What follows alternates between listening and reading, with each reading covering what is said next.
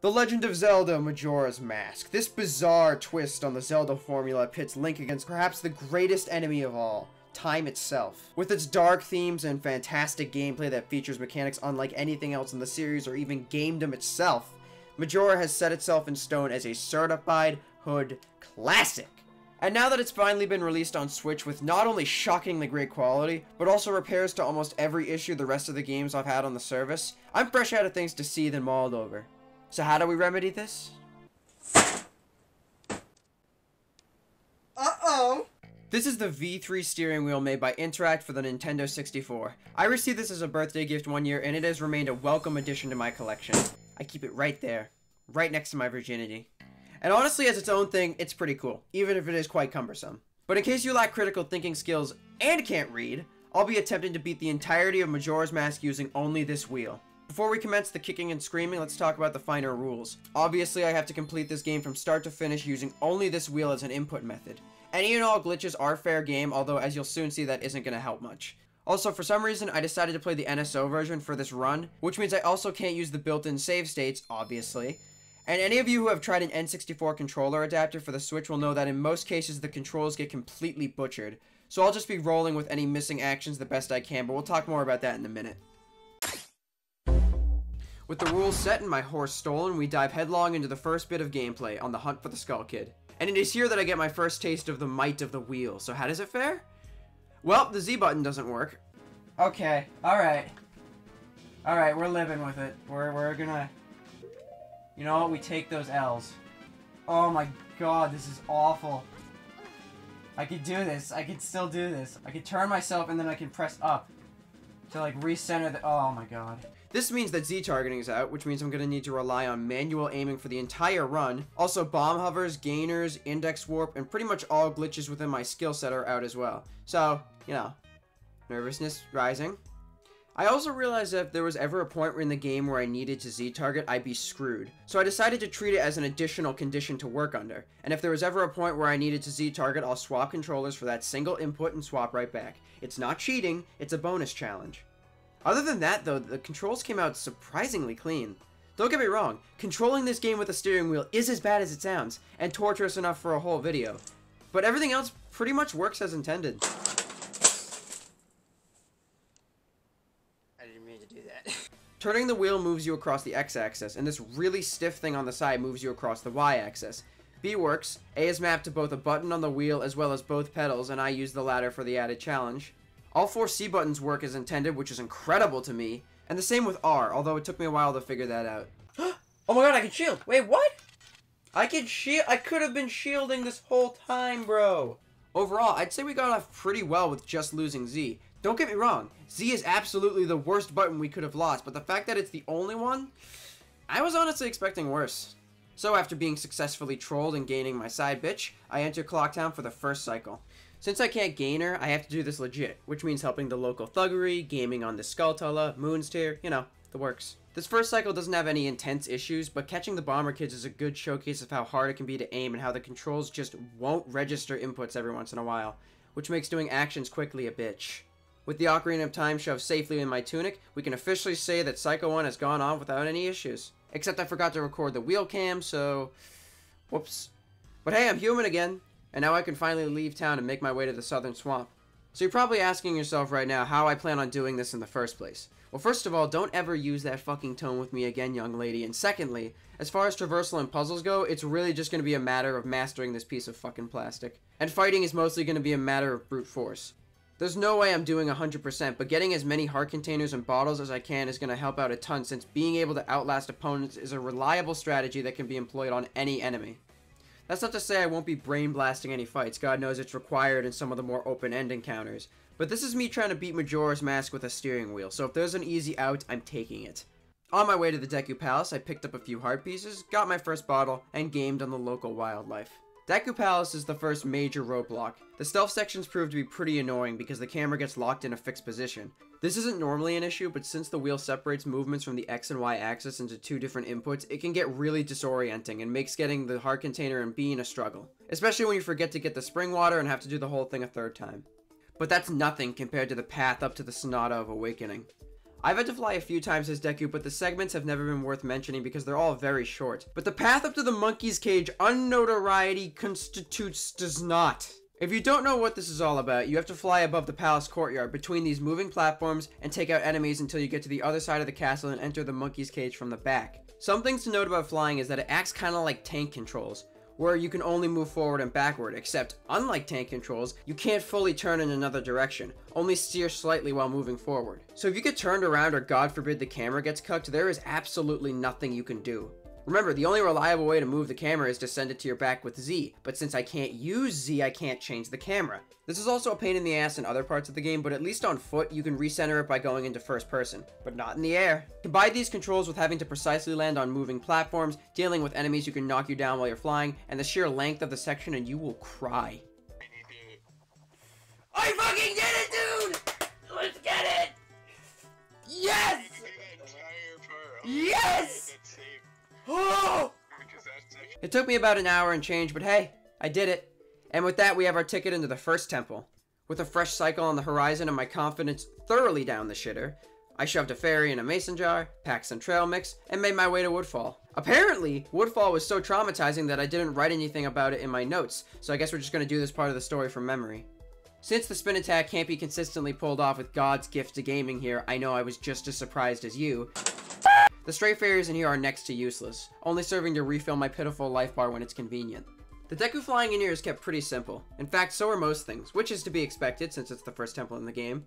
Uh, that said, I wasn't completely safe. This room in particular has you running across small platforms delivering a flame to torches in a tight time limit.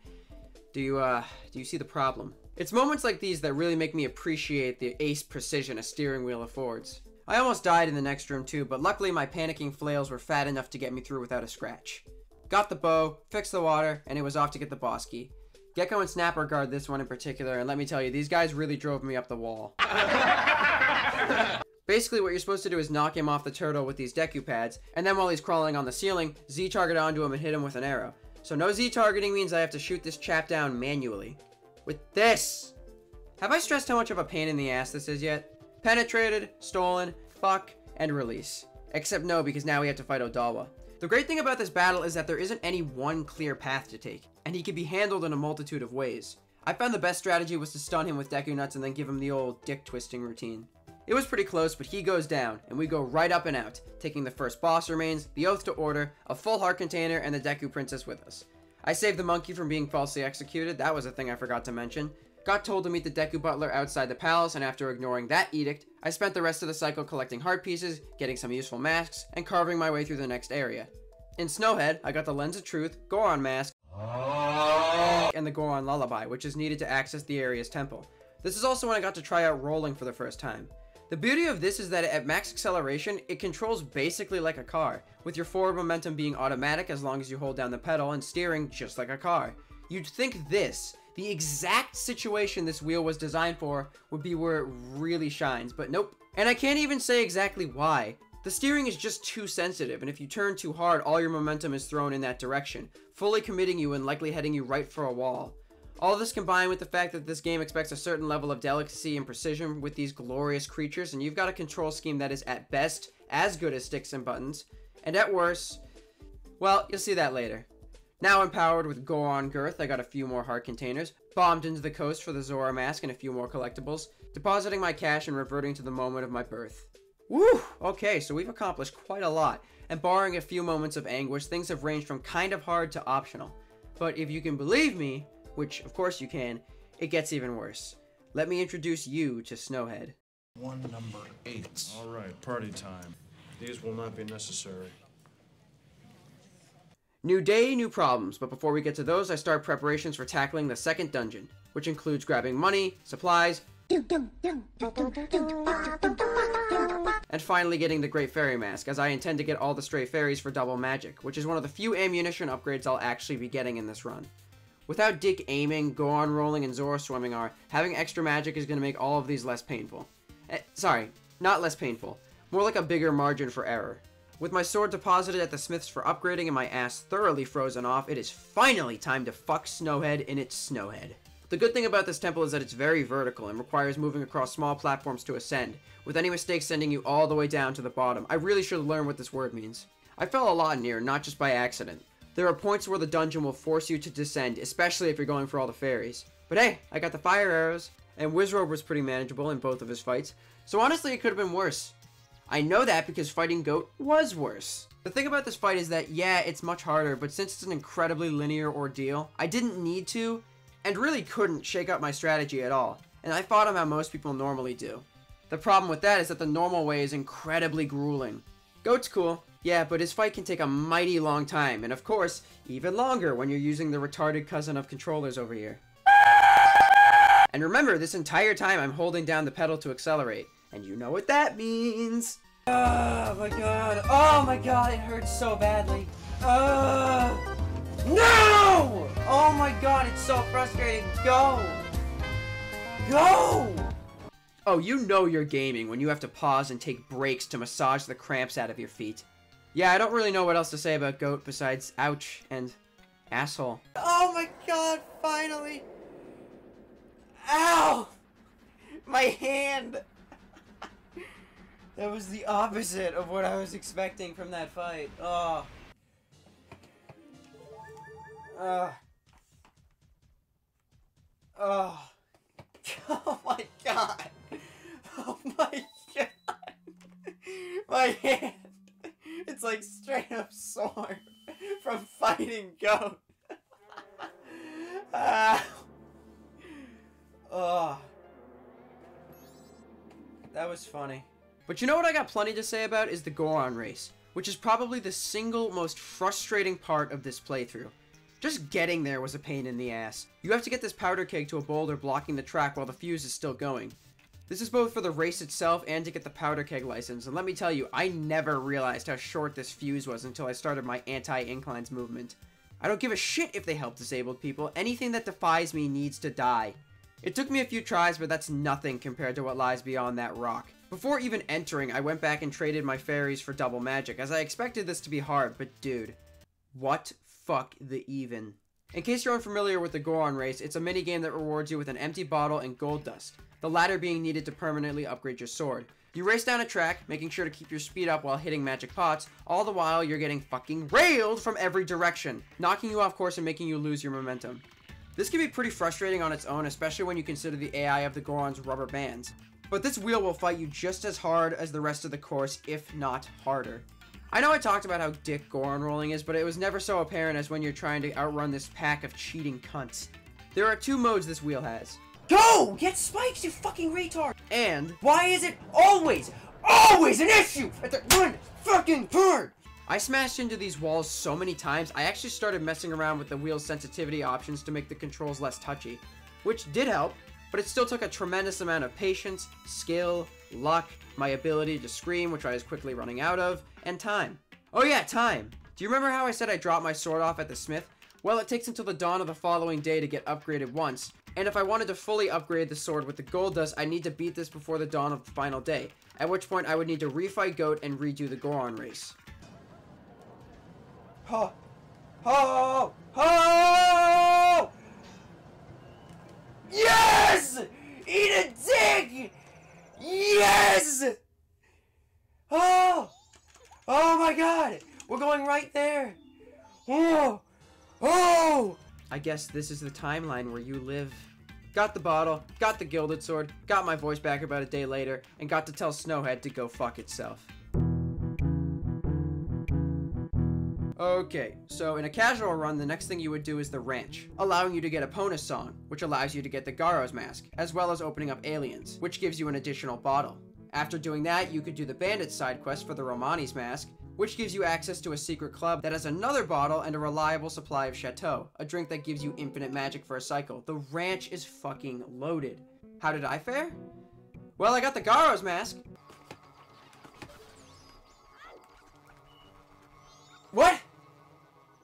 No! I missed one! Son of a bitch, dude! God damn it! Really? Which one did I? It was probably in the front. Ugh. So aggravating. God damn it. So if I want to do that, which I don't, I have to. Whoa! What? Whoa! I didn't know that. She gets taken too. Oh no. No. Romani's gonna get probed. Uh, oh no. I didn't know that's what happened. what is that out there? What is that? Is that her? Romani? oh, she's living. She's living. I'm not a murderer or a manslaughter or whatever they call it. Hello? Is she not speakable? Oh, Jesus Christ.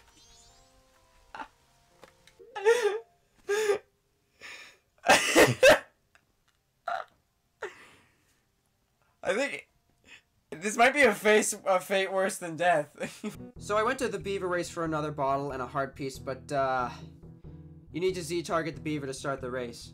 Okay, so I started the egg collection to get the new wave bossa nova, the song required to get into the third temple. Got the egg stashed in the pirate's fortress and snapped a picture of one of the pirates for the fisherman so I could get the seahorse and. Okay, so without the seahorse, I had to learn the path to Pinnacle Rock and retrieve the eggs there. For real, this segment was more annoying than anything, given that with only two bottles, it took multiple trips from both locations, but fuck you, got the new wave, thought about Romani getting probed, and proved to Lulu that her babies were safe from those murdering rapist pirates, I mean strong independent women. On to Great Bay! Okay, this is the temple I was dreading the most up until this point. To be fair, this little fucking thing right here makes dolphin jumping as Zora much easier and is one of the only things in the entire game I can say is just as good and maybe even a little better than an actual controller. The mask is used heavily in here, but beyond that, all three bosses, that would be Wart, Round 2 with Gekko, and Gyorg have me shitting the bricks. Metaphorically, of course, I'm... I'm, I'm cool. I'll talk more about Gyorg in a second, but Gekko Round 2 has you chase him through these blobs to land hits on him, and forces you to freeze him while he's on the ceiling under a strict time limit to weaken him, and have him, uh, well, I'll not do this. 100% count, I hit him midair.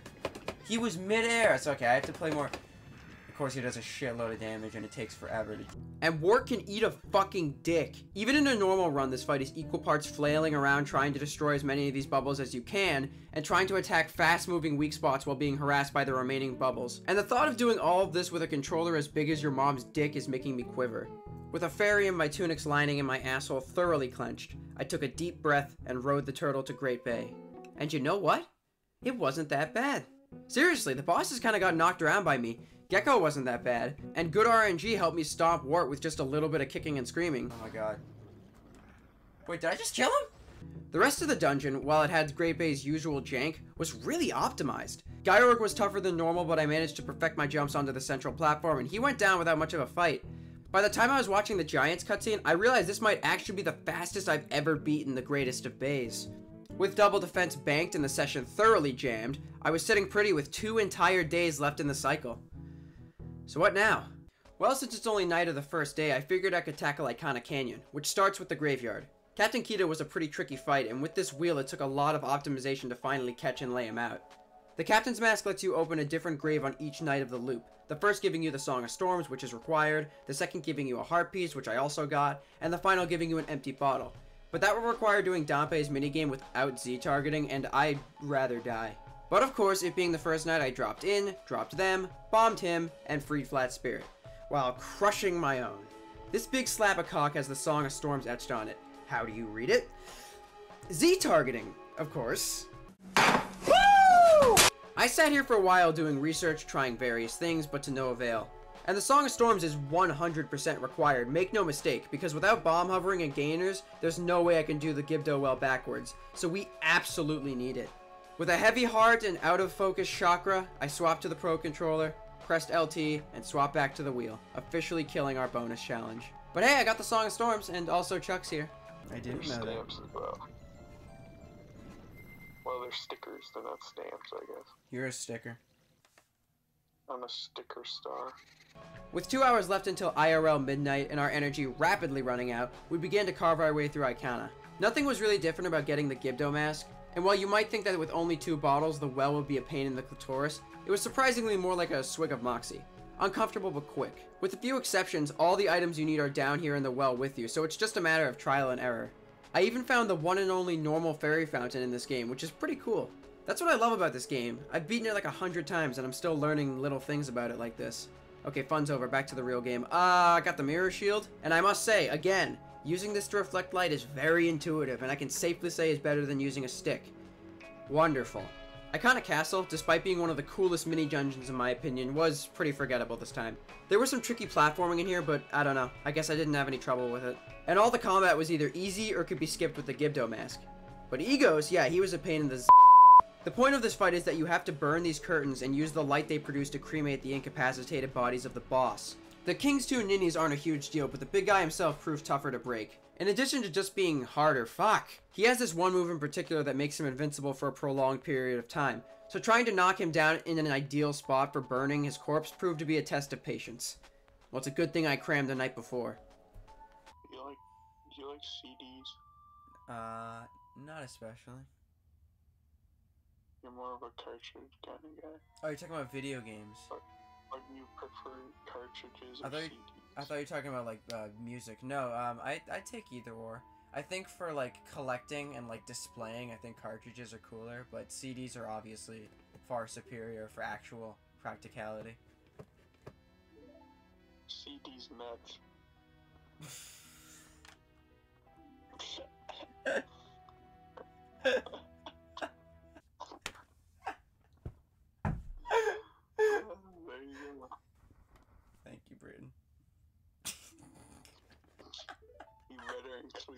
In case you couldn't tell, we were both egregiously tired, so we called it for the night. And I woke up the next day intending to make this cycle my last. The climb to Stone Tower and Stone Tower proper were exactly the same. The penultimate challenge of Termina has always been the hardest of the game's dungeons, and while obviously in this run it was harder, shocking, I know, I don't really have anything interesting to say about it. Although I guess some of the stray fairies were a little difficult. Oh, and Gomess was pretty dickish too. Yeah, despite how cool this guy is, his fight is usually a throwaway because of its lack of substance. But let me tell you, with how many shots I was missing and how quickly he was draining my supplies, he was a lot tougher than I remember. But, like with all aspects of life, I crushed him. Fighting Twin Mold with the Giant's Mask is inherently mindless, so nothing really changed here. And guys, I got news for you. We're in the home stretch. With the monstrous Great Fairy Sword in my possession, it was time to end this. I suited up with all the requisite supplies and waited for my scheduled Armageddon. After calling security, saving the tides and maybe a few other things, and entering the moon, all that was left to do was talk to the purple t- and begin the fight for our life. Without the fierce deity mask, this fight becomes a proper final boss. With the first phase posing as the most durable enemy I've fought. His entire front side, which is almost always facing you, is completely immune to damage, and hitting him from the rear so you can make him vulnerable to attack is a pretty complicated process. Also, about halfway through phase 1, the boss remains will start hurling projectiles at you, and while you can kill them, I think, it's really a better idea to simply eat their hits and focus on Majora. Phase 2, Majora's Incarnation, doesn't deal a ton of damage, but is the fastest opponent you will face. And getting him while he's dancing around just became a job for the patience pants. Majora's Wrath, fittingly enough, was the toughest enemy I had faced so far. He'll jump back and forth between sides of the arena, usually very far away from you, and just juggle you. His attacks not only have a massive area of effect, but he'll also spawn these top things that'll get in the way just as much as the boss remains. I don't even remember what my strategy was, probably because I didn't have one. But, with the power of Chuck singing, I won. Yes! It's been done! Yes! Perfect line that I said. What? I was like, if you think he's gonna beat this, you should lower your standard. I heard you. Just kidding, he is the standard. I don't even know what that means. It's been beaten. World star! Woo! Let's go, baby! World star. World star. to close my thoughts on this, I had a ton of fun. Navigating the world was a bit, sure, but when it came to combat, the lack of Z targeting and the bulky control scheme forced me to really get creative with a handful of fights, which added a layer of challenge to this otherwise very easy game. In terms of combat, I mean. But I think it's safe to say I wasn't really pushed with this on its own. And if I had played again on an actual N64 with access to Z targeting, I believe 100% with a steering wheel is absolutely possible. Maybe another time. But for now, I'll say I hope you enjoyed the ride, and I hope to see you around for some more laughs in the future. There was a lot of funny stuff from my recording session, so if you'd be interested in seeing a highlight reel, let me know in the comments. See ya! One thing about this game is you can tell when something's a model and something's a texture because all of the models have like black outlines on everything, but the textures are all flat colored.